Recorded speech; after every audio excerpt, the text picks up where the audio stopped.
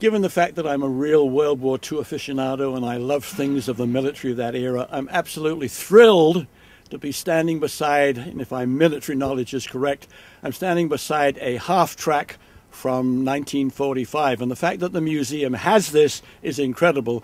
So, uh, to tell us more about it, Steve, tell us about this half track. I mean, those guns look frightening. Well, thank you for admiring our, our baby here. We do love her. She's an M16A2 half track. She was built in 1943 was retrofitted in 1952 and was slated to go to Korea. Now, she never made it to Korea. She ended up staying stateside. But why it's important for, for Fort MacArthur is that in the years between World War II and Korea, nobody knew what air defense was going to be, and so they just parked these guys in, at certain places. Fort MacArthur had an M16 half track, and so we had to get one so that we could properly interpret the interwar years between World War II and Korea just so uh, our viewers know, I know what a half track means, but as you see, we have huge tires here, and then behind me over here, we have like a tank track. So, Steve, just explain that a little bit more. The idea was is that this track could take heavy loads and could get to places that a normal, you know, tired vehicle or wheeled vehicle could not go and they were very successful, used throughout World War II, used in Korea, and believe it or not, the Israelis, they might even still have some in their inventory, so they've been using them for years. Still today? Still today, yeah. Boy, that shows American workmanship and craftsmanship. It's one of the beauties of collecting this old stuff and preserving them is the fact that the generations of Americans that produced this stuff, they made it to last. There's a craftsmanship here that you cannot find today, and it really is a, a work of art. I know our viewers would be fascinated to find out how much how much does something like this cost and where on earth do you find it? Well, again, exact cost I can't determine for you, but what you can do is get on eBay. Get on eBay and look at that. Look at the military vehicles website. Uh, there are a lot of people, private individuals, that are saving these old. Saving them? Yeah, you know they're destined for the scrap heap, and what they do is they know in inside themselves they know that there's history in every one of these vehicles, and they save them and they lovingly restore them, and then ultimately they end up in museums, hopefully. But from my knowledge of things military, I would say that this somewhere is maybe between the range of 75,000 and 100. You're in the right range for sure. Wow. I'm also thrilled to be standing, uh, obviously, beside this vehicle, but over here there are two other vehicles. Uh, just briefly and quickly, what are they? The next vehicle over from us is the M3A1 Scout Car, and it's really important to our area too because right after Pearl Harbor, the main concern was a Japanese invasion, and these scout cars actually patrolled the beaches, and they were usually an infantry unit. So we're a coast artillery fort, but we had infantry assigned to us, and they use these scout cars to patrol all the way from San Pedro down to Solana Beach and back. I think the other interesting thing is that they're out here and they look in such good condition. They obviously don't remain here. I mean, were they taken from a, a military garage or, or hangar or something? It's a great question. Most of these things ended up on farms as farm utility equipment. Farm equipment? Sure. A tracked vehicle out on a on a, a plowed field, the traction you're going to get, they were very, very reliable. But what usually happened is all of the armor was stripped off, the guns were removed, the radios are gone, and so when we find them or when these individuals find them, they have to rebuild them. And so it's like almost like a puzzle piecing each piece back together. And in the process, there's a real intellectual challenge and there's a real physical challenge. And it's just it's good for the it's good for the body to do this. I know that one of the great American generals of World War II was uh, Blood and Guts uh, General Patton, and Patton was actually a tank man. But um, I can sort of see Patton in this vehicle with the guns blazing.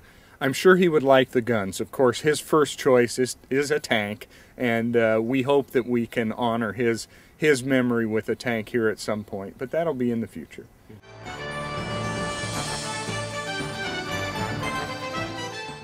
Palos Verdes Peninsula High School is having a student-created art sale on November 17th from 10 a.m. to 3 p.m. Items for sale will include hand-blown glass, ceramics, photos, and note cards. All proceeds go directly to the Peninsula High's Visual Art Booster Club, which supports the school's art facilities. The sale will be held in the faculty parking lot at the corner of Silver Spur and Hawthorne Boulevard. And if it rains, the sale will be held in room S13. And keeping it local, the Point Vicente Interpretive Center will be hosting the local authors book signing event on November 10th at 11 a.m. through 1 p.m. This event will feature an array of books focused on the unique beauty and history of the Palos Verdes Peninsula. Come meet local authors and have your book signed and receive 10% off all books on the day of the event. Authors include Doug Christie, Bungie Headley, Judith Love Cohen, Ginger Clark, and many more. For more information, you can call 310 377 5370 or go to palosverdes.com slash RPV. And after the event, you can make a day of it by touring the Point Vicente Lighthouse. And finally, are you looking for some new ideas on setting a great table for the holidays?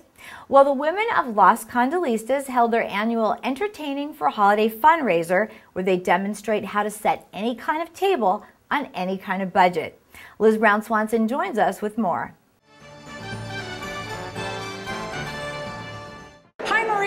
Here at the fourth annual Entertaining for the Holidays, a beautiful event put on by the women of Las Candalistas. And every year, these women get more creative and have wonderful ideas to help inspire you over the holidays. This is Las Candalistas, one of the major events that we have, fundraising events, and this is called Entertaining for the Holidays. And we have been doing this for the last four years. And then I tell you how excited we are because this is the time that we make use of our creative juices and we inspire people to do their own entertaining stuff for the holidays right at the comfort of their home. The best tip I have is to mix and match.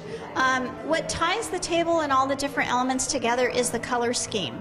So if you get the colors that go together, um, that uh, coordinate with one another, that's why you can mix the plates. If you'll notice, a plate from Italy and a plate from England go together because the greens match and the browns match. Um, and if you'll notice, the napkins are not the same as the tablecloth, but the colors coordinate with the colors in the paisley tablecloth and in the arrangement.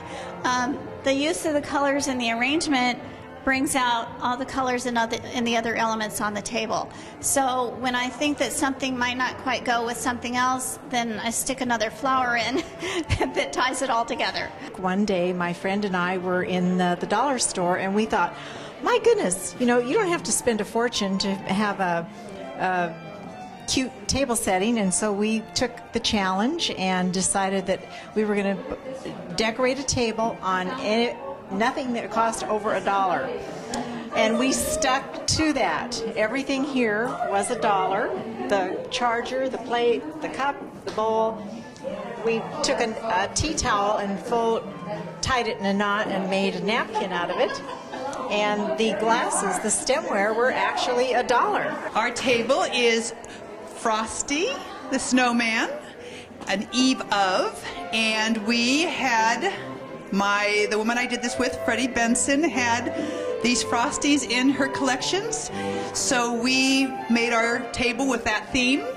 We only had three, so one of them we had to create a, a melted snowman over on the last plate.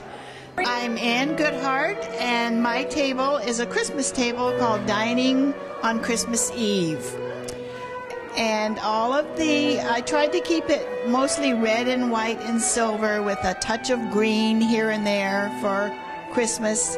So it's just a lot of fun to gather what you have in all your Christmas decorations and put them all together and make most elegant Christmas table you can. This is called a New Year's Carnival. It all started with the uh, moving uh, Ferris wheel that was given to me by my uh, Uncle Jack and Aunt Eleanor. And from there, the table was inspired with dishes that have come from um, Pier 1. It's to give you kind of a Mardi Gras feel. Uh, this is something you could do at home very easily.